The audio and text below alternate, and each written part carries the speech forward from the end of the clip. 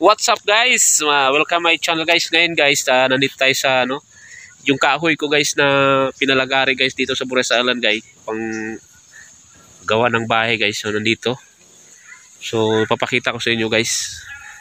So ngayon guys, uh, meron kaming babayaran din tayo na luti no, uh, patayuan ng bahay. So mamaya pupuntahan namin. So ngayon guys, ito yung kahoy ko. Binalot lang to guys. Guys. Ah, manipis lang pala yung yero. So ipakita ko sa inyo guys yung kahoy natin na pang gawa ng bahay. So kulang pa yan, marami pang kulang yan eh. So ayan, kita ko sa inyo guys ha, yung kahoy ko na pang gawa ng bahay. Kasi gusto ko guys yung paggawa ng bahay guys, ano lang uh, maliit lang guys, pang tulugan lang talaga dito kasi sa Maynila tayo nagtrabaho. Pero kung mag-stay tayo, yun. Kung pala rin tayo kumita sa pag-white eh, uh, paggawa tayo ng bahay. Yun guys, pakita ko sa inyo guys.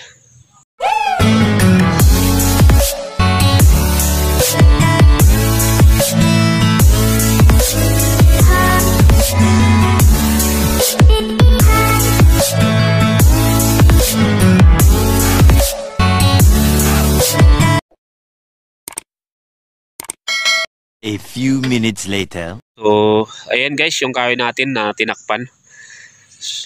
So, ayan guys, marami po yan. So, mahaba po yan guys. Sayang, natak dito, pati pa to. Pati ito, kulang pala sa, ano, kulang sa, sa yero. Yan, dami po yan eh. Hanggang mahaba po yan, hanggang dulo. So, marami pang kulang yan. Kaya, pag nakabili na tayong lote, kung may pera na, ipatayo natin yung tan house natin na maliit lang kubo-kubo lang ipagawa. So yan hindi naman sa akin yan. Kay biyanan ko yan kay tata yan. So yung mga kahoy yung mga tugas yan naligi. So ayan. So mamaya guys pupunta kami dun sa ano sa lote na babayaran. So titingnan natin kung gaano kalaki. Kasi ang sabi nila guys sa G4 ano G4 15 yung lote. Ayan. Ngayon guys naglalakad tayo ang init tirik na tirik yung araw. Uy bunda pala dun sa ano, maligi ko ngayon pupunta tayo dito sa aking pinsan uh, asawa ng aking bayaw.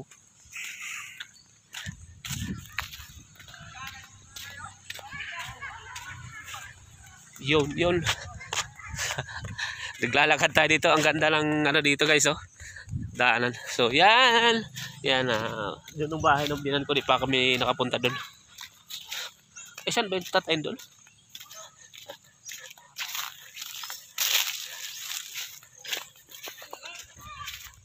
Yun. May baka. May baka dito guys. Ayun no, baka. Baka ng kapatid ko yan. Ng taba.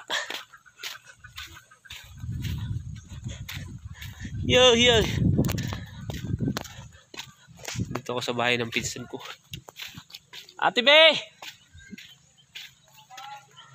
Mayong buntag, mayong adlaw. Dito ako sa bahay ng pinsan ko. Uy, parang nabago na yung bahay nyo. Na nawa na yung guardhouse. Ay, tuwa dito. Ah? Bibi, nandyan? Dito. Ah, dito? Hmm si Undo. Yan yung kasama natin kagabi doon sa ano ikot-ikot. Wala pala dito. Taas ang antina. Lalakad-lakad tayo. Ang ganda dito guys oh. Yan! Pakita ko sa inyo dito yung planeta namin. Planeta ng Japan. Nandito kayo sa Japan, oh. Planeta ng Japan. Yay! Huh, huh, huh.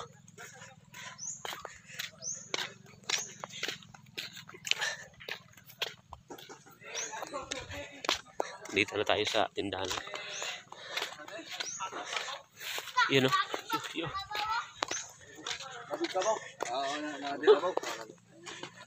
Twenty minutes later. So guys, magandang ano guys. Iba-vlog na to rin Nag-vlog naman ko, nag-vlogger ko, nag-vlog ko.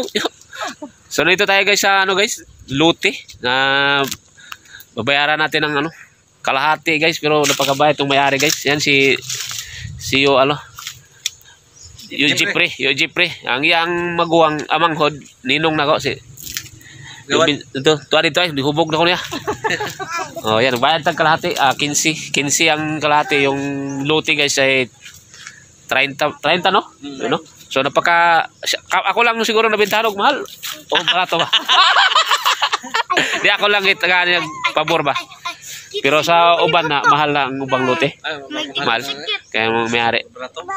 Mahal ka guys, eh, pumayag siya na kalahati lang. Tapos ito yung pinsan ko, siya rin nag, ano, ko- umausap. And ah wala may problema kasi mag magkakilala man tapos yung wala problema yan. So ipakita ko sa inyo yung luti guys. So tabing kalsada lang. Yung luti guys. Papunta ro no? Pila ka dako na yo? Just por 15. Gis por 15 daw guys. Pero malaki na daw yun sabi nila. Yung Gis por 15. Dako, no, no? So lambi din no? Kay kung di lang si magtawag si Bibi na magani. Mo kung gari ko uli dahil. Pero kung kung So ayun na ano, mahal ah yung luti dito ng kalsada gid eh. So di di ka magmahay sa imong imong silingan. Kay kakuan. Si yung Jeffrey, so dol dol lagi kayo. Kaya dapat nga dito ka sa kanang bakiliday. so diri na no, just for 15 guys ang luti yan. Simula diri diri no. Ah magsukat pa rin no nga to. Pangadto ka, pangadto ka. So pangadto pa. So pag maabot ba sa lubi ang dili sa abot? ka, pwede. Abot to. Kuha siguro nimo ang Abot to sa lubi na. Ah, mo. Kato ka na, abot, abot to. Madto ba na? Ang adto ang 15. Dili, kato, mo ito kuhag base po diha. Ah kato. Oh, ngari. Ah sagad di sa kahoy. Abot to siya, abot to sa lubi. Kahoy. Tama kita kay abot to sa sunod. Magkabakal ka sa sunod, hindi na lubi dito kay wala may lubi na. Oh, ayan guys, yung kahoy na yan guys. Parang simula dito guys, oh. Simula dito sa tayuan natin. Pangadto sa may kahoy, medyo mataas din pala. Ayan. So, ganun simula doon sa may kahoy guys kasi boundary yun eh. Tapos pag ano no. Tapos hanggang doon. Kung dis, so abot dito. Ay kasi may may-ari pala dito guys sa gitna. So dito pa kami banda. Oh. So baka masako pa namin itong Jemelina eh. no? Ano na ba ng pangga? Dili na kay mga mama mo na. Ah, di na next. di na kasi guys, yung kahoy dito, yung kahoy, yung kahoy hindi pwede ano yan, mayroong nagmamayari yan. Kasi tanim-tanim yan eh. Ay, bata. So baka masama yung ano, hanagdong. di. So dito lang banda guys. Napakaganda ng luti guys. So napakabait yung may-ari. Maganda pa. Tabing kalsada, pwede magtinda no? Ah, pwede. Pwede magtinda dito. Pwede. Tinda kang balot. tapos si Charol. Tapos mami. Muna yung kuandre, iyo ka lang. Oh, dira oh. Kana. So, maganda guys. Pan- pantay na pantay oh. So, yan. Dyan dyan lang. At, ni-vlog lang natin para ma-inspire naman. May mga kahoy na ako guys. Di ba? Pinakita ko na sa inyo mga kahoy. So, patayo na natin yan ng lote. Just 415. So, malaki-laki yan. Tayuan natin lang ano, bahay lang. So, ayan, baka masama pa tong puno ng saging eh. Ay. No? So, dito lang, no? Ah, baka maabot pa ano? Abo, at ate, abasok ka talaga. Kasi dito mo kita. Bago yung mga kumaboton, ano, di ba pwede ba? Ah, oo. Sige, sige. Patayan, baka maabot pa lang dyan kasi doon may, may nagmamayari. Pang wala, pangatlo tayo. Pangatlong luti tayo. So, kung maganda dito banda, no? Kaya, dool na, dool na lang, oh.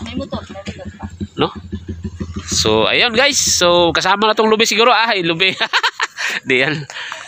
So, yan oh, tabi kalsada lang. May pistahan ba dyan? Pag pista, no? Ah, diri ate.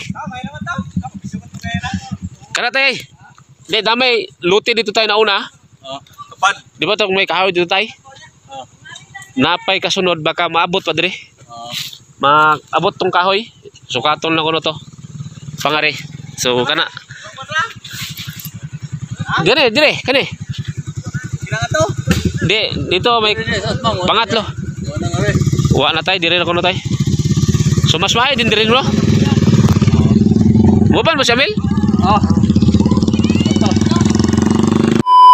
What's up guys? Ah, morning. Uh, pasensya na kayo guys, hindi tayo nakapag-outro nung pag-after natin bumili ng lote. Ah, tatayuan natin ng bahay yun guys. After nun, ah, pag nakaipon na tayo ng pera guys, saka na natin tatayuan ng ah, kunting bahay lang. no? Maliit lang na bahay. No? Kaya pag-ipunan muna natin ng ah, pera yan. So may kahoy na rin tayo doon. Kunting kulang pa yun ng kahoy, no? So pag-ipunan pa natin yun, guys. So sana ah matupad natin yung pangarap natin dito sa YT para makapagpagawa na tayo ng ah, munting bahay lang kahit maliit lang na meron lang matirahan yung aking mag-ina. So kasi sa Maynila guys nag-rent lang kami doon. So alam niyo naman pag nagre-rent, gastos, pagkain, pag ah, ilaw, tubig, transportation, so walang maipon. So dito sa province, medyo ano dito, magtanim ka lang ng mga gulay, may ulam ka na. So isda na lang. So tayo habang nagbo-vlog, so baka kumita ng konti, di ba? Pwede na. So pwede kang magano dito ng mga isda kasi malapit lang din sa dagat. So yun nga guys, sa dito tayo nakapag-outro doon. So ngayon guys, sa ipunan talaga natin ng pera yun.